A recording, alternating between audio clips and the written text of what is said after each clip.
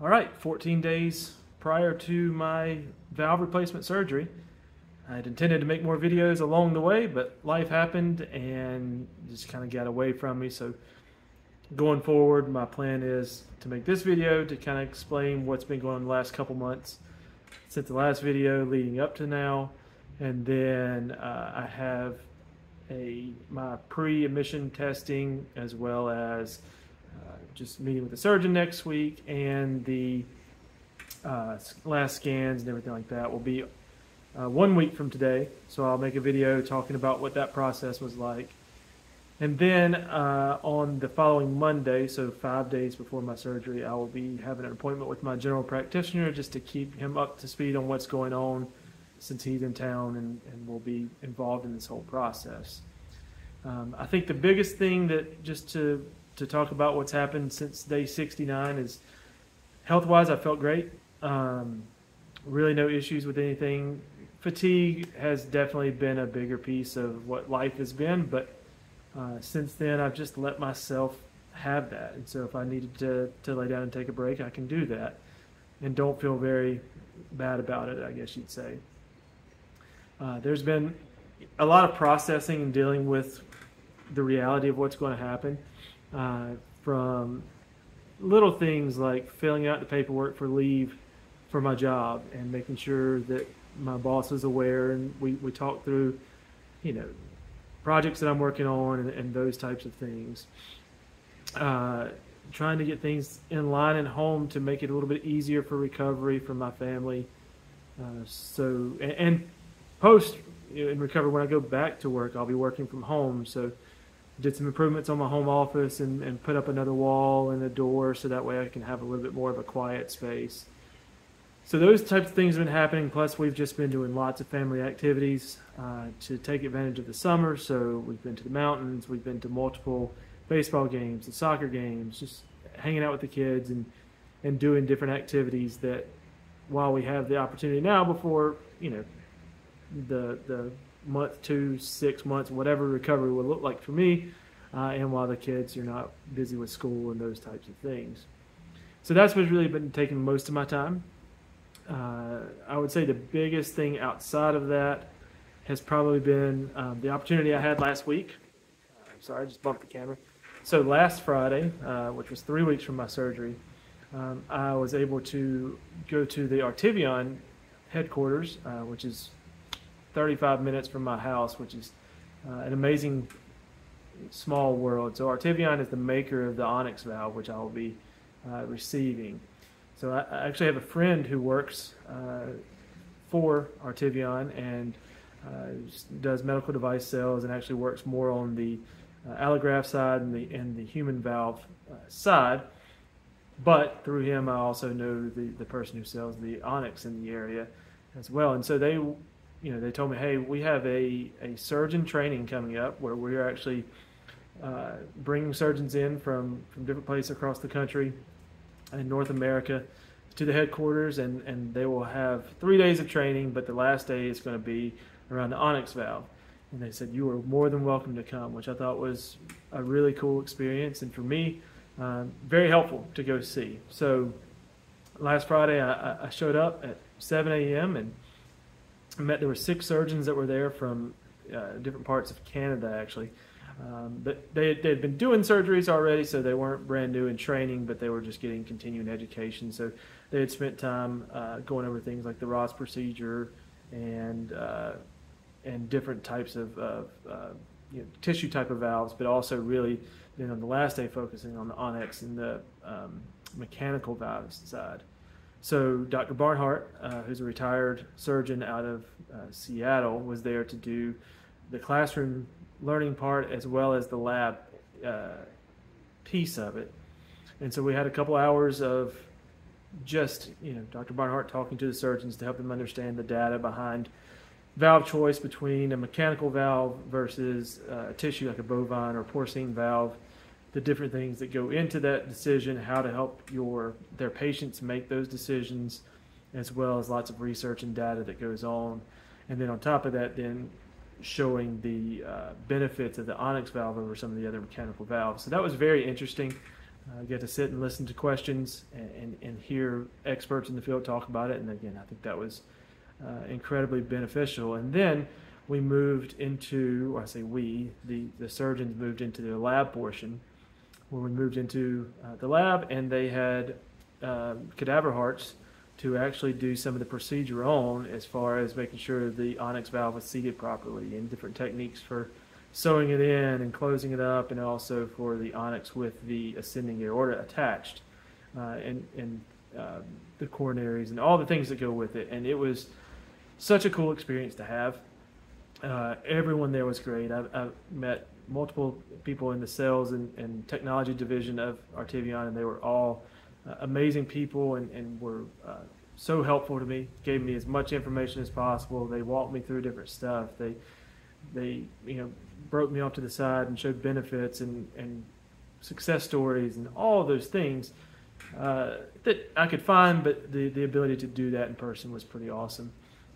And so, uh, and then you know, the surgeons themselves, while they were doing, they, they paired up into teams and they were, you know, doing the procedure there on the cadaver hearts they were so excited that I was there because I'm three weeks out from uh, this surgery, and so they, I could tell it gave them a chance to show what they did and their expertise to somebody that you know could be coming in concerned because this is going to be happening to me, and, and they were fantastic people.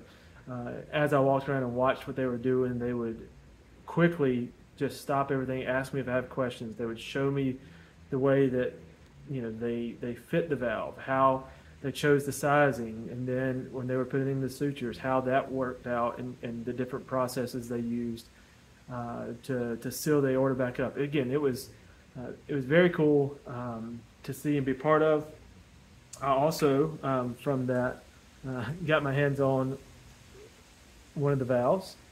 So this is uh, that's going to get focus on my phone here, but this is an On-X aortic valve now this is a pretty small one. I think it's a 21 millimeter. Um, but it's just, I've had this for a couple weeks now actually, and every time I look at it, it's, it's pretty remarkable to see the engineering in it and just how simple it is. Um, but again, so I have one of these, and it's great for show and tell because I, I like to show people what's going on and, and what's happening. So, so again, watching these actually be put into hearts uh, there at their facility was amazing. Um, but but very cool. Uh, you know, they gave me lots of uh, information. Basically, anything I asked for. Again, this is just a patient information. I'm sure any uh, surgeon's office would have this. Um, but other things uh, as well, just because they, I, I, could tell they genuinely all cared. Everyone I dealt with uh, cared about what was going on. So again, very cool experience. And so that was three weeks out.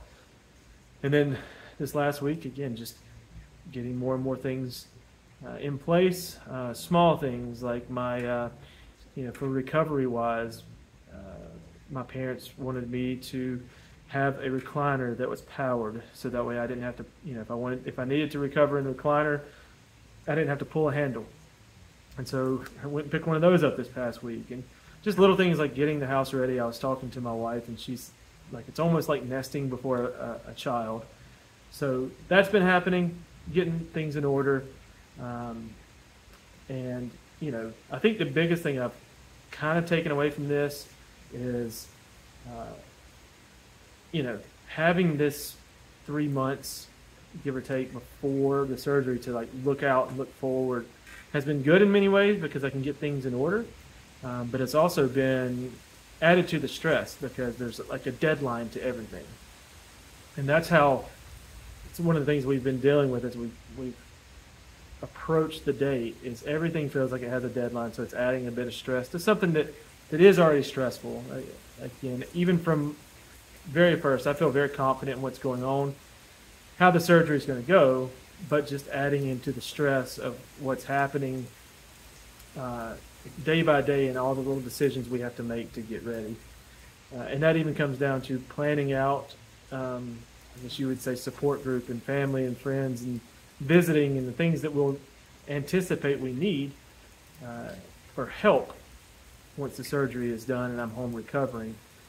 And I think that, again the difficult part of that is it's it's unknown, and I think any of us who are going through this process have that unknown piece of it, and so just trying to lay things out about you know who day of surgery, who's going to be watching our kids, who's going to be at the hospital, um, what types of things we'll need afterwards, and so a lot of a lot of those decisions are being made and penciled in, I guess you can say, because things will change obviously, and who knows. And uh, I am anticipating and hoping for a on the quick side of recovery and everything to go really well because I, I believe in uh, the hospital, the surgeon, the team that's going to be doing the work and, and seeing what goes on behind the scenes. So, but again, thinking about all those things has added just a level of stress that you don't normally have to deal with. Uh, so in, in, a way, I almost wish that when I went back on May 1st, that the doctor would have said, "Hey, we're going to do this on Thursday," uh, and given me three days to think about it instead of three months. Um, but again, this is, this is how time works out, and I, I, believe God works all those things together for my good because I've seen lots of different ways, and, and having the ability to even go to the Artivion and meet some of the people involved with that uh, has been great for me and really helped me uh, personally as I'm, I'm going through this process. So again, you know, you can you can have it fast and get it over with, or you can have this waiting period. Uh, I'm thankful again that you know this has been monitored for 20 years, and we're ahead of it, and I'm not having any severe symptoms and things like that. Um, so at this point, though, I'm just I'm ready to, to get it done. I, am I'm, I'm counting down the days, literally, uh, on just to, to have this process kind of behind us and move on to the next step. But things are good. Um, what I would say to anybody that's watching this and going through it that I think that the stress is normal. You know, you need to find people who that you can communicate with, talk to, talk about how you're feeling, um, but also make time for yourself to, uh, you know, do some activities or have quiet moments and, and just sit, uh, because there is, a major life um, experience and there are different things that you may go through the grieving process for. And so to take the time and, and know that those are there, and know that there, there are outlets out there to to, to be heard and to talk. And uh, so you know, just just know that those things are going to be coming your way, um, and you know, be thankful for the, the time that you have to do it. So I think that's really it. This was a a rambling video maybe one day by the time I get finished with all these videos and you know really through the recovery piece uh, I'll get better at these and they will be more coherent uh, and not just rambling but that's again like a video diary for for me just somewhere that I can get this out as well so if you watch it thank you um, if you you know have questions or anything I'm always always happy to answer if anybody wants to comment but uh, again, I'll I'll be probably making another video next Friday, so a week from today, to talk about all the pre-admission testing and everything that went into that. So we'll see if that happens, and uh, see you in the next video.